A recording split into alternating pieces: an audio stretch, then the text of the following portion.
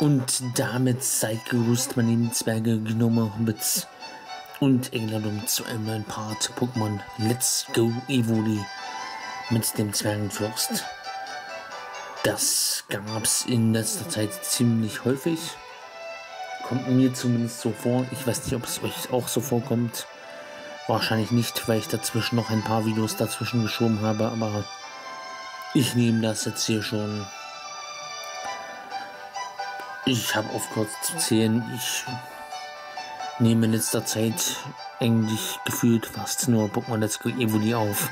Aber von mir aus, mir ist, soll mir recht sein. Finde ich gut das Spiel. Es soll es mal vorangehen. Okay, hier sind wir nicht dort, wo wir im letzten Part aufgehört haben, sondern hier vor der Pokémon Arena von Prismania City. Die hätte ich fast vergessen. Die müssen wir hier nochmal nachholen, bevor wir heute weitergehen können nach Safronia City.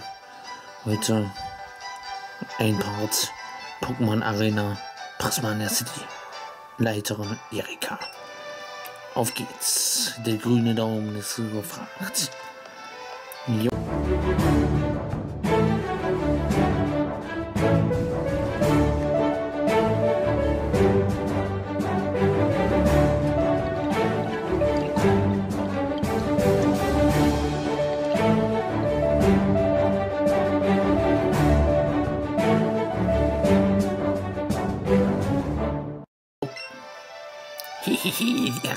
Toll. Sie ist voller starker Trainer. Das werden wir sehen. Evoli mit der Feuerattacke.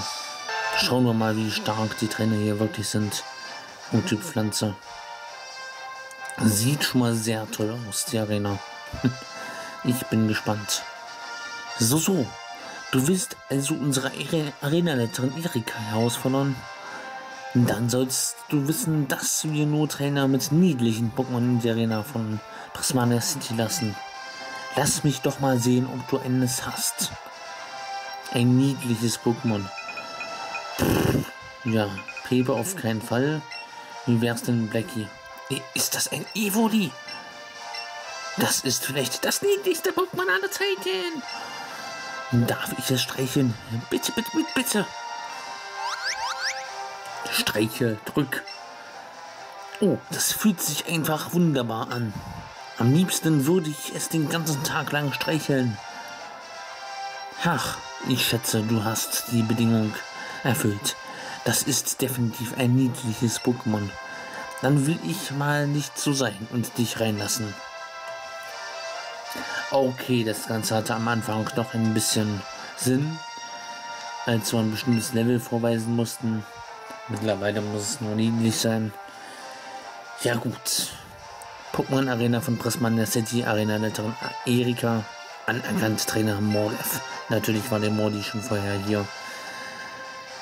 Der ist, schon, der ist uns schon ein wenig voraus und hat die Arena schon abgeschlossen. Wird bestimmt nicht allzu schwer. Mit der Feuerattacke von Evoli sind wir den Kämpfen gewappnet. Ja. Okay. Wir die Spaltattacke einsetzen. Spaltschnitt. Diesen Strauch könnte man mit einer gezielten Schnitt aus dem Weg räumen. Möchtest du, dass dein Partner die geheime Technik Spaltschnitt einsetzt? Aber sofort. Okay, und da geht's wo lang? Naja. Erstmal hier hindurch. Durch das Pokémon-Labyrinth. Wir wurden noch von keinem Trainer herausgefordert. Ist vielleicht ein Fehler, aber ja.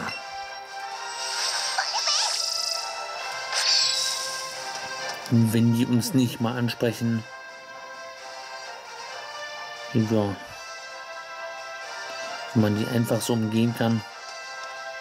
Ja, ich war so jetzt noch näher an ihr dran. Ja. Ein Labyrinth, in dem wir von keinem einzigen Trainer herausgefordert werden. Von mir aus. Wäre ein bisschen Training wert, aber hier in Pokémon Let's Go Evoli bringt das Fangen eh am meisten. Ähm, ich versuche mal das hier. Hier kann man sich schon sehr gut verlaufen. Ich denke, das machen wir auch gerade sehr gut. Das Verlaufen, meine ich. Ja, eine Sackgasse. Sehr schön. Okay, dann vielleicht den Weg. Oder haben wir uns längst komplett verlaufen und finden den Weg einfach nicht. Hätten wir schon viel früher einen anderen Weg gehen sollen. Ja, mal schauen. Nein, hier sind wir. Da ist Erika. Ja, die erste Trainerin, die wir hier in dieser Arena herausfordern. Okay, soll es so sein. Hallo, ist das Wetter nicht einfach herrlich? Ach, tut das gut. Einfach die Seele baumeln lass.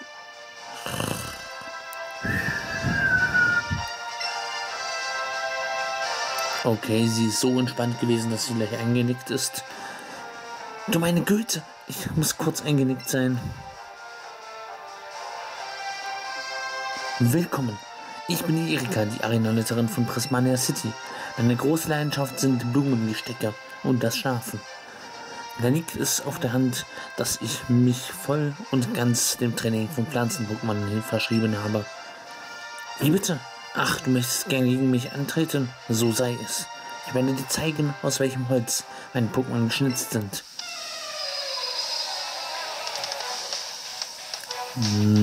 Na dann. Arena-Letterin Erika fordert dich mit drei Pokémon heraus. Tangela. Okay, los, Evoli. Oh, oder Dictri, auch eine Möglichkeit, auch eine Option. Warum nicht? Schaufler. Versuchen wir es damit. Mal schauen, wie weit wir damit kommen. Ansonsten Evola. E Evoli. Evola, ja. Solche Versprecher schon am Anfang des Baus. Naja, der Anfang ist relativ, aber ihr wisst, was ich meine. Los, Schaufler, tu so viel du kannst. Diktri. Oh, es wurde wieder geheilt. Was zum Geier. Müssen wir wohl einen One-Hit machen. Schlaf, Bruder. Okay, das ist gar nicht gut. Ach, was soll's, komm. Emoli, du bist an der Reihe. Los, Blackie. Ich wechsle dich ein. Diktri, komm zurück. Blackie, du schaffst das. Na, komm. So. Okay. Ach, die Attacke ist das, die das dann Oh, der hat aber ziemlich viel abgezogen. Flackerwand, na komm, mach's alle. Zack.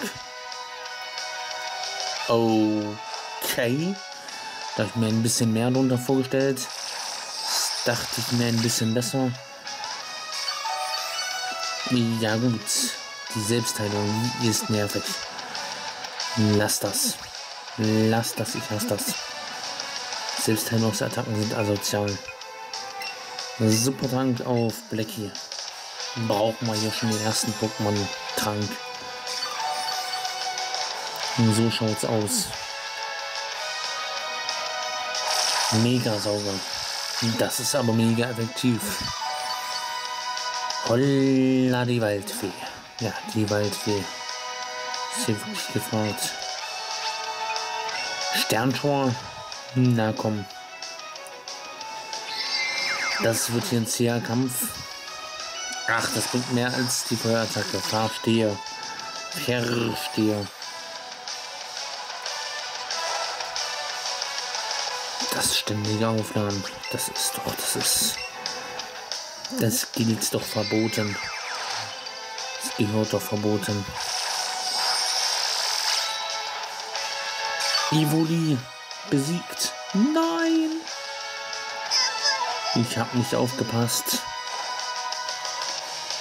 Da wurde Evoli besiegt. Ja, jetzt bringt die die auf. Die Aufheil-Attacke auch nichts. Das Aufheilen. da wären wir wieder dabei. Es ist spät. Ja, vielleicht kommen wir doch heute noch weiter. Ein Stückchen Richtung Safronia City.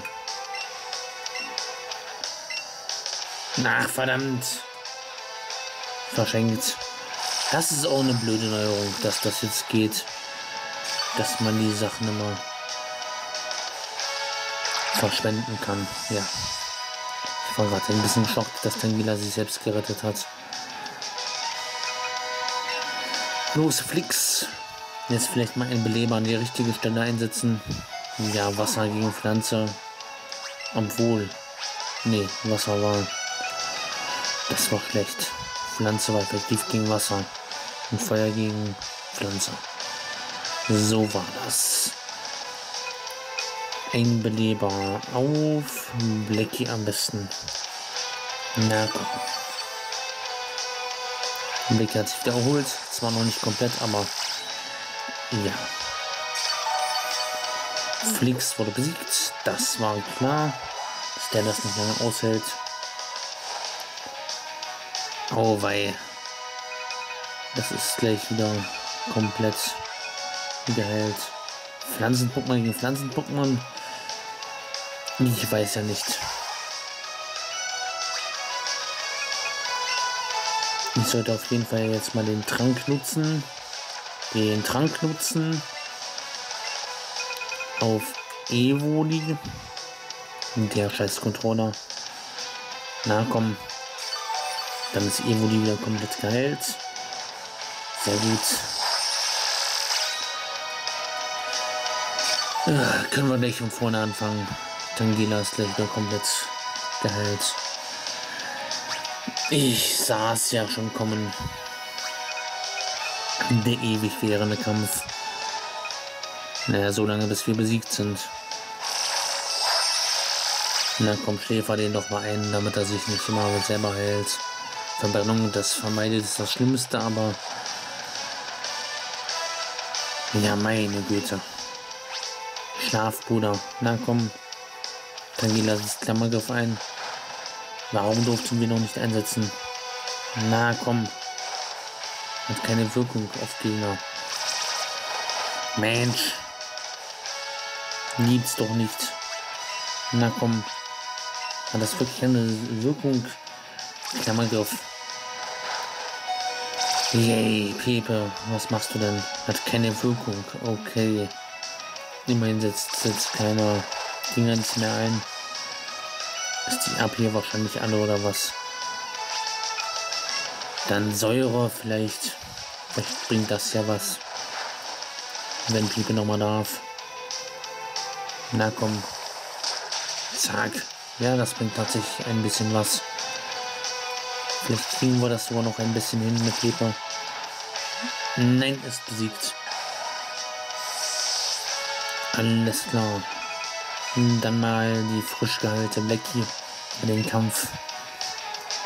Vielleicht kriegen wir das erste Pokémon dann mal endlich besiegt. So, Sternschauer, das war sehr effektiv. Na komm, hau rein. Tangela besiegt endlich. Da war es nur noch zwei. Die anderen zwei jetzt mal im Kampf. Giflo, das können wir vielleicht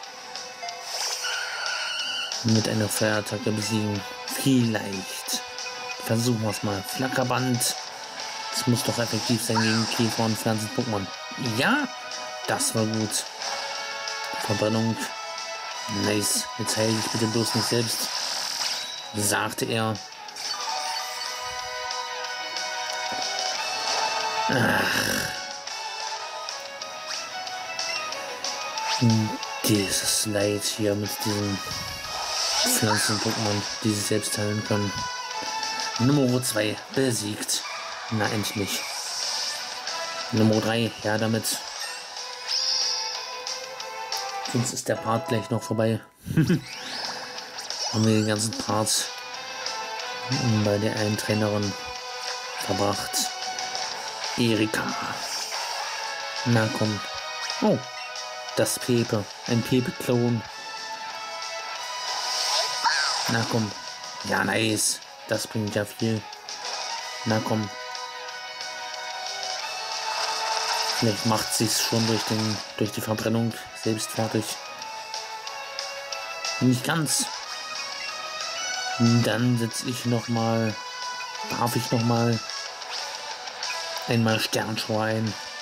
Na komm, Sternschauer. Mach's zu Ende. Otigara besiegt.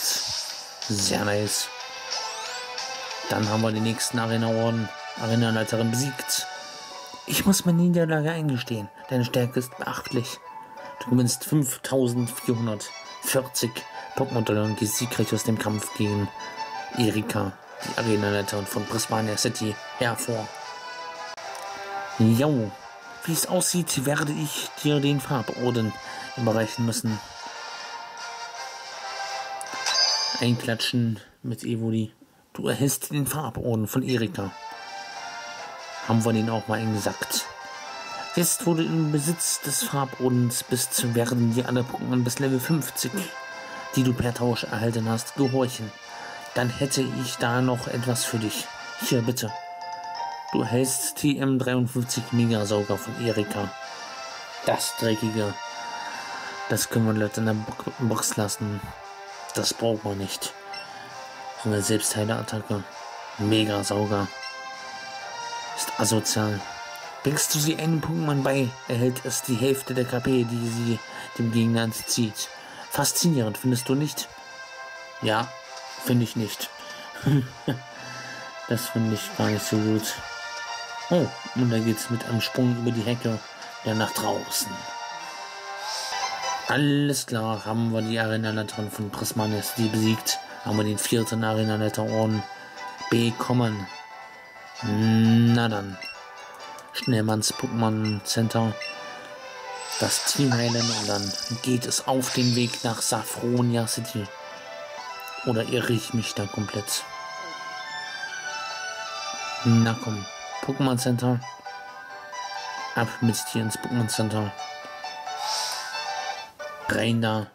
Das Team heilen. So. Nimm und heile die. Heile die Verletzten. Nice.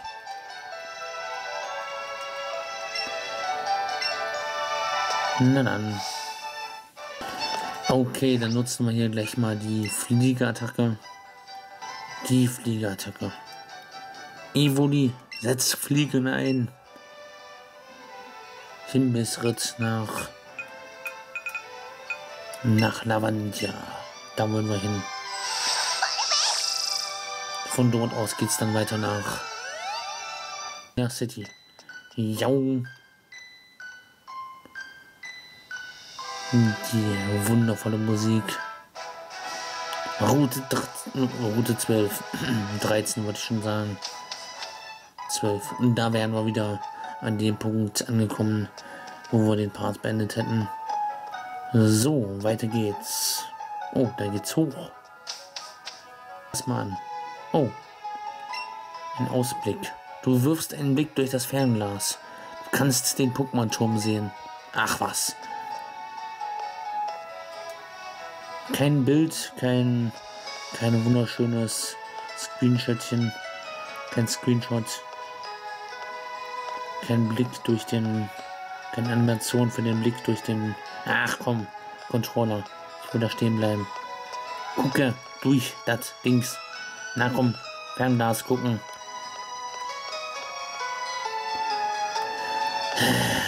Eine Last hier mit den dem Joy-Con. Ach, dann lass es doch bleiben. Meine Fresse. Eine Last hier in Pokémon Let's Go Evoli, dass man den Power-Controller nicht spielen kann. Mein geliebtes Pokémon ruht jetzt im Pokémon-Turm. Hier, nimm dieses TM. Ich brauche es nicht mehr. Ruheort erhalten. Alles klar.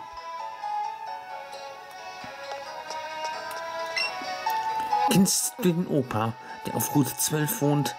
Der hat ein Gedächtnis wie ein Sieb. Tja. Demenz und Alzheimer. In diesem Alter kann das schon mal vorkommen. Route 12. Dann finden wir mal den Opa, der ein Gedächtnis hat wie ein Sieb. Ja. Das hier ist nur ein Angler. Das hier ist nur ein Pokéball mit einem Item drin. schnappen wir es uns. Lockparfüm. Sehr gut. Oh, der fordert uns gleich heraus. Das hätte ich nicht gedacht. Immer mit der Ruhe. Das Warten ist auch eine Freude des Anglers.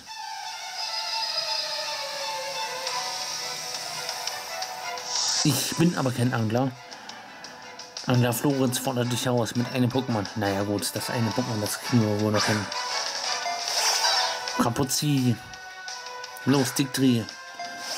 Ja, jetzt hier auf dem Steg im Wasser Schaufel einsetzen. Ich weiß ja nicht. Und wird wohl irgendwie gehen. Schaufler gräbt sich in das Wasser hinein und erträgt. Na komm, lass es Wunder wirken. Oha! Ja, das bringt wirklich.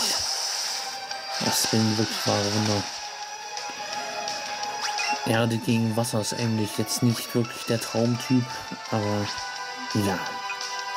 Versuchen wir es mal mit Triplette. Den letzten Rest. Zack, zack. Das sieht nice aus. Hat gereicht. So, Erfahrungspunkte für Dictory und Alpha erreicht Level 22. Angler Florenz besiegt. Ups. Hey, warte doch. Du gewinnst 1080 Pokémon-Dollar gleich aus dem Kampf gegen den Angler hervor. Du hast drei Pokébälle. Hat man ja gar nicht zu kaufen, wenn man nur genug gegen Trainer kämpft. Ja, kommt man damit auch durch. Jo, hier vorbei. Sprühdose Schutz. Auch nicht schlecht. Kann man gebrauchen. Hier mal eine Hinweistafel. So, schauen wir drauf. Sportangelzone. Ja, Angel haben wir, glaube ich, noch keine.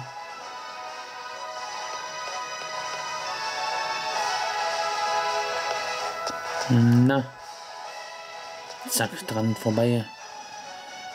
Sehr gut. Oh, jetzt haben wir hier so einen Meistertrainer. Eine Relaxo im Weg. Ja, so schaut's aus. Dann mit einem kleinen Blick auf die Uhr würde ich, glaube ich, mal sagen, Däumchen nach oben soll es euch gefallen haben.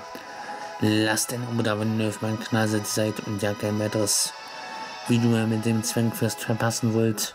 Habt noch eine angenehme frostige Zeit. Ja, man sieht sich im nächsten Part von Pokémon Let's Go Evoli mit dem Zwangfest wieder. Oder in einem anderen Video auf meinem Kanal. Ja, wie auch immer, macht's gut bis dahin und haut rein. Ciao, ciao.